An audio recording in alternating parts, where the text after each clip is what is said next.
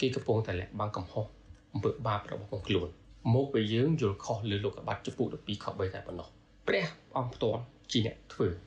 ដល់នៅនោះអ្នកណាដាក់បដាសាឯងអញនឹងដាក់បដាសោនៅនោះដល់នៅនោះ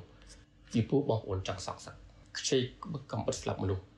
ម្លោះហើយកាលណាយើងចង់សងសឹកយើងមិនមែនជាគុំព្រះទីយើងមិនមែនជាគេស្បត់សត្វទីគេនឹងត្រូវបំផ្លាញជីវិតប្រកបតែចំពោះមនុស្ស